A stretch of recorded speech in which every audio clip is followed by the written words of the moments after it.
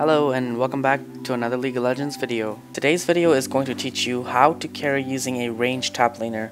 Ranged top laners are one of the easiest ways to snowball and carry your games because they are ranged. They have more harass and they have more trade potential early versus melees and they scale super well into the late game it really is an amazing win-win situation, but I'm also going to teach you exactly what you need to learn to make it work and to not fall behind. Because yes, while meanwhile it is the easiest thing in the world to possibly carry with, a lot of people don't do it because they don't know how to do it and end up falling behind and becoming very useless to their team.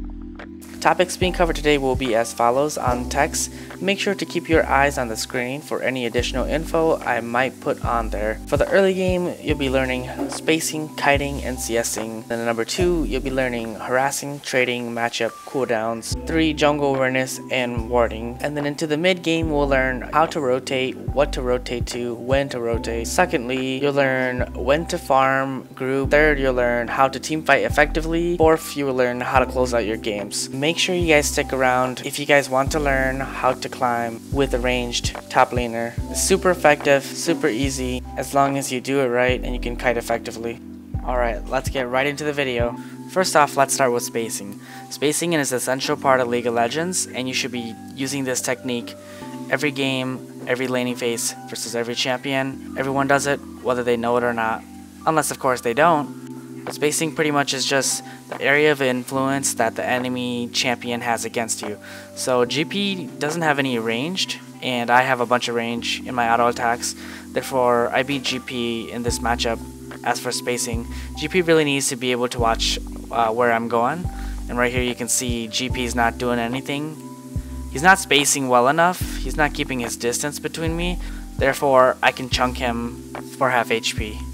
I do have to be mindful when it comes to spacing of GP's barrels and spacing when I aggro GP because GP can actually do a lot of damage to me if I don't pay attention to his minions. I'm to take a lot of minion aggro just because when I auto GP the minions are to auto me back therefore it's to sort of balance it out so you got to be really really careful when you're playing like a harass lane like this. See how I threw down a ward early? That way I can see the enemy jungle when the enemy jungle is coming. Also another thing, I know if I can just dodge Olaf's Q, I'll be in no danger. Unfortunately, I'm unable to dodge Olaf's Q, so I have to flash over the wall. But I did see him early because of the ward, so that was super helpful. Coming back into the lane, I got my control ward.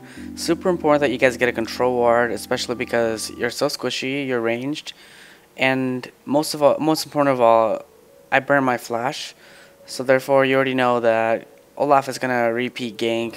It's a super typical thing for junglers to repeat gank, especially after they've blown a summoner. Knowing Olaf and GP going to this range matchup, GP is most likely going to be very frustrated and wanting help from Olaf. Not only that, but your chances of killing somebody without their summoners is extremely high, so repeat gank is very obvious. Aside from spacing, kiting, and CSing, some of the more important things when you're playing a ranged top laner is for you to know the enemy champion's abilities. So if you don't know the enemy champion's abilities, it's going to be really hard for you to outplay them. The number one thing I need to look out for the most right now versus GP is his double barrel combo. I should also stay wary of the bushes for the ghost barrel combos you can put a barrel in the in the one of the bushes and then put a barrel in the lane and shoot me that way as well a little bit harder to do. It's not extremely hard to do but just a little bit. And as you'll start to notice if you're watching the, the video every time GP has his uh, barrel down I'm always prepared for his double barrel combo. So I position that way. I also have my Q to dodge his double barrel combo. I'm currently just trying to thin out the wave right now. That way it doesn't crash under turret and I can CS easier. But aside from thinning out the wave and wave management, if you guys are noticing it, every time I can harass GP, every time he goes for a minion, I'm always looking to trade. Every time he lays down a barrel and misses, I'm looking to trade. Um, every time he presses Q on the minion, I'm looking to trade. Unfortunately, I end up eating a huge uh, double barrel combo to the face, and that's exactly what you guys need to look out for in this matchup. A couple of those, and I could be dead like instantly one of those combos half HP me. Imagine what would happen if I got hit with that combo while Olaf was walking towards me. Just instant one shot. Combine that with GP's ultimate, that would be pretty difficult to get away with as Vayne, especially with no flash. You can see the GP barrel, uh, Ghost Barrel combo right here. He's trying to Ghost Barrel, but unfortunately for him, I can see his Barrel. He probably misplaced it. Here's he setting up for another double barrel combo. I see Olaf with a control ward. See how 75 gold helps me save my life? 75 gold, guys. That's all it takes for you to live sometimes. 75 gold for me to know exactly where Olaf is and to save my own skin. So I rush Berserker Greaves for a few reasons.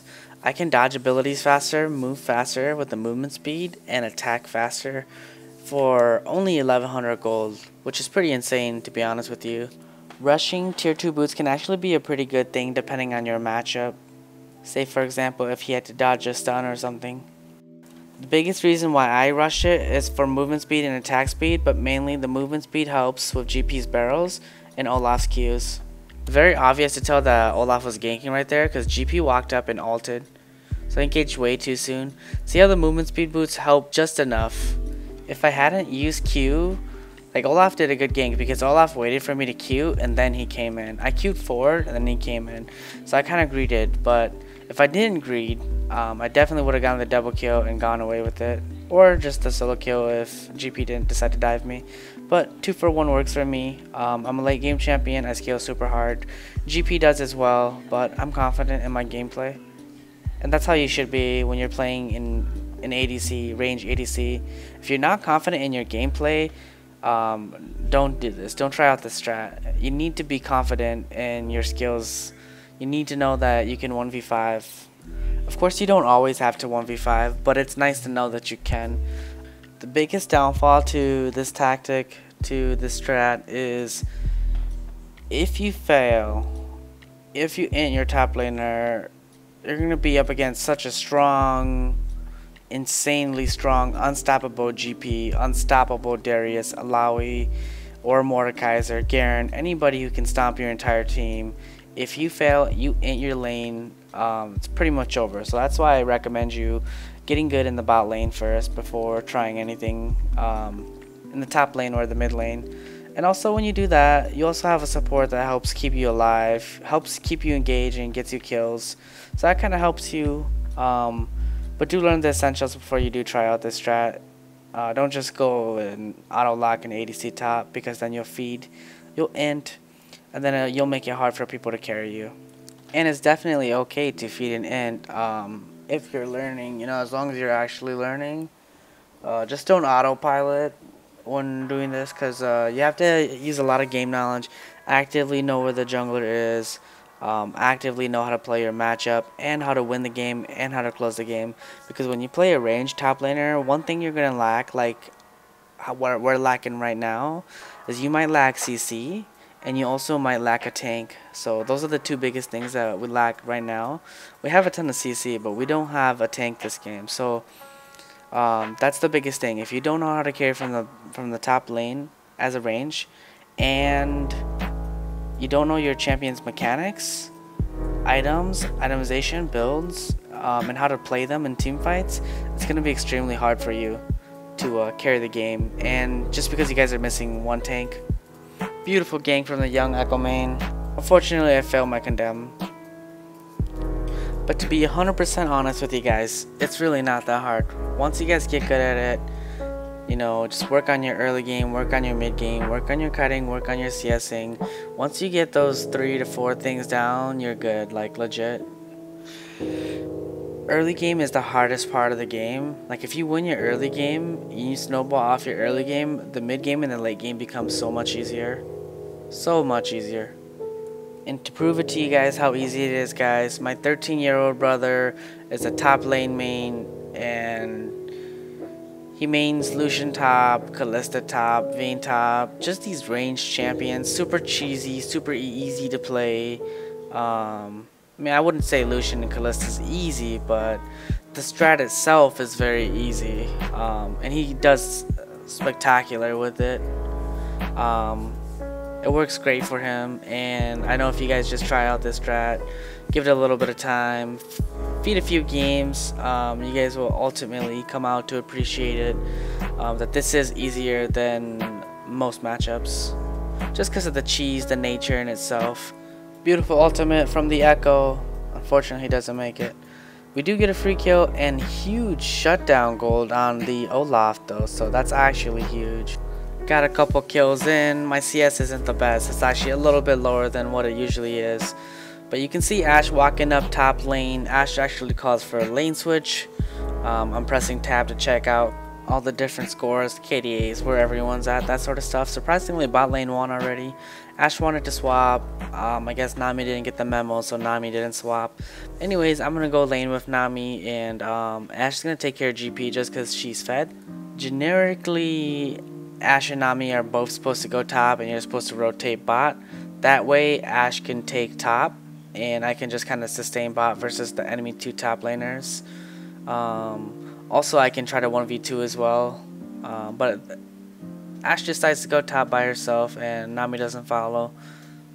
So that's fine. That's what it is. Uh, I'm fine with the support down here too, sharing EXP. But generally, I'm supposed to be at this a stage of the game. I'm supposed to be two levels ahead of the bot laners. And should be strong enough to hold them hold the two of them off by my own especially if um, bot lane won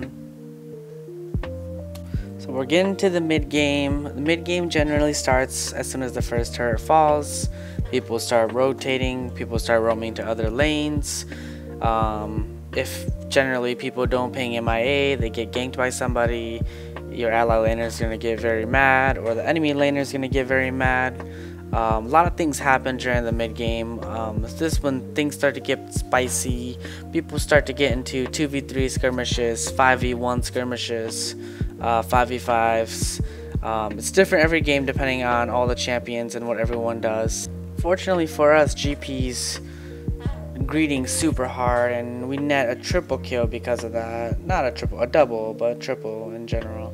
But you can see from GP's frustration, he's very, very far behind. Um, trying his best to get ahead, snowball, carry his team, but it's not going to happen. He didn't play aggressive enough in the early game versus Vayne. Uh, definitely could have played better as GP. Anyways, let's get back to the video. So how to rotate. There's a few scenarios um, that could be played differently. So say if I if I want if I beat my laner and I took my top lane, I could typically get three plates, three platings, and then get Rift Herald and then take turret or I can beat my laner, take turret, and then get Rift Herald, go mid or go bot with Rift Herald, and then let Rift Herald go. But generally, uh, that's how it works when you're top lane. If you're bot lane, if you're playing ADC or support, or if you're playing mid lane, mid lane can prioritize Rift or Dragon, um, but mainly Dragon. And then bot laners and supports usually take Dragon. So kill your laner, take your bot lane turret, and then take dragon, or kill your laner and then take dragon, or kill your laner, take turret, and then take dragon, or take your turret and then rotate mid. So there's just so many endless possibilities, but that's pretty much what it is. Um, it's pretty much the same for every lane. Top lane, uh, kill your laner, starve your laner, and then take rift, or take advantage of uh, whatever objective there is to be taken advantage of, whether that be the enemy blue buff, enemy red buff, Rift Herald, Dragon, or turrets, or even just Scuttle Crabs. If you're strong, you want to push your lead in every way you can, just as we're doing right here. You can also decide which turret you want to take next by pressing tab and seeing which of your allies is strongest, or which of your enemies is weakest, um, and whichever one would be easiest for you to take advantage of. of. Um, in this case, Ashe rotated top. Um, we took mid, took advantage of Heimerdinger because uh, Diana's pretty strong, and Heimerdinger was pushed, his turret was gone, so it was an easy kill. Because of that, we were able to take a take down a tier 2 turret and um, chunk out the inhib turret pretty good. What I find myself doing most often sometimes, if I don't win lane hard enough, or if I do win lane and uh, the others just win one lane a lot harder, um, it generally gets a little bit confusing and everybody just groups up mid and ARAMs mid. Um, the easiest way to explain this so you guys get it is the lawnmower effect. So say you take your top lane turret and the enemy mid and bot are still available. Um, you can take the mid turret or the bot turret, whichever one is easiest to take advantage of. And then you can rotate and take the next one if you can't take the tier 2 turret. Um, sometimes there are those tough games where the game is so evenly matched um, that it just makes things hard. So what will end up happening is the team with the better champions will end up winning and taking turrets and objectives because the team with better players just are unsure of what to do during the mid game. At least the better players in the early game, the laning phase, start to get confused around the mid game because they don't know what to do during the mid game phase. So according to the Lawnmower effect, you take all the tier 1 turrets first, and then you take all the tier 2 turrets, and then after that, you take the inhib turrets. So pretty much that's how the lawnmower effect works. You're looking at the map right now, alright? We got the tier 1, tier 2 mid turret down, tier 1 bot turret down. So what do we do next um, according to the bot turret? Things are starting to stall out a little bit. Very fed Ashe just died. What do you think should happen? Uh, looking at the map, according to the lawnmower effect, the easiest next turret to take down is going to be the first tier top turret. And that's um, what we're going for push GP out of lane. I should be able to take this. GP is ultimate. Olaf is here, so I can't take the turret. This is one of the reasons why I say that you should be able to be confident in your damage. Be confident in what you do because it's super cheesy. The strategy is super cheesy, but at the same time, it's not so cheesy. It's kind of hard. It could be, it can be, it can be hard because you're taking a very squishy ADC and you don't have the support to protect you and you have to pretty much protect yourself by kiting. So you no longer have that support, that tank, or that engage to help you get kills. That's why I say it's a little bit harder, the strategy. But it's super cheesy because once you get the snowball effect going on, it's really, really hard to stop you. You can see I'm already 7-1 and really hard to stop. I'm to back from my Rage Blade soon, and that's to be game. So we're starting to get into that mid-game, late-game part of the game, and this is one of the most confusing parts of the game. This is why I say if you autopilot, this is the part where you kind of just auto-lose or auto-win. You just kind of coin tossing at this point if you don't really know what's going on. So here's how you figure out what's going what to here is how you figure out what is going on at this stage in the game and what you need to do to execute it. Whenever your team is not grouped up, you're always looking for favorable favorable fights in numbers. So whenever your team is not grouped up, you just farm, try to farm, get vision, um, and as an ADC or as a squishy, you always want to group up. So here I got vision at Baron. We find them at Baron. And I start engaging. But I don't 100% engage. I'm zoning and I'm waiting for my team to get here. And as soon as my team gets here, we go in. And that would have never happened if I autopilot, if I never warded Baron. And that's pretty much game. Diana gets an amazing triple kill and we get a quadra kill. Ekko's pushing bot, we get Baron. And that's pretty much it. So to make it simple for you, when do you farm? When do you group? You farm when your team is dead, when you don't have a numbers advantage. You group and you try to make you try to get a 5v4 a 5v3 a 4v3 4v2 trying to get the numbers advantage always trying to have the advantage at this point how to team fight effectively it's a hard question to answer in one video i'm gonna say it's very very hard for you to learn how to team fight effectively since every team comp is different. Um, but you want to be looking for big things such as Rumble Ultimates, Malphite Ultimates, uh, GP Ultimates, that sort of stuff. Things that will really mess you up in team fights. Now this team, this game, we don't really struggle with any of that. We start winning. Um, Diana's super strong. Everyone's super strong. Ashe is strong. I'm strong. It's just impossible for us to lose team fights. But for me personally, in these team fights, what I need to look out for is a Pyke pull or Pyke engage. Um, that's the biggest thing. Otherwise, I'm not really scared of Heimerdinger, GP, Olaf, or anybody else. And as soon as Pyke's pull goes on cooldown, he's dead. You can see Heimerdinger doesn't do much to me as well. He has a stun, but he doesn't he doesn't put me out of place too bad, and he's not too hard to stop. GP Ultimate is here, but it's not as strong either. I'm not too scared of that. And uh, I can pretty much run down their whole entire team. GP barrels are huge actually. I do have to look out for GP barrels in team fights. But depending on the enemy champions, that's how you decipher how to team fight. Whether you want to group or you want to flank and split push or you want to split push in 1v1 or 1v2, it's totally different. This game we can all just group up and run it down if they truly wanted to end it. Now how do you close out games?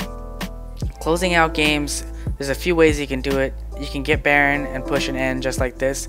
Split up and push different lanes. 1-4 or 1-3-1 or all 5 mid. Uh, there's a majority of ways we can end the game. And you can also do Elder Dragon end. You can secure the Elder Dragon. Um, but before you can do, before you, the main way you close out a game is an effective team fight or an effective uh, 1v1 or 1v2 on this on the side lane while you're split pushing.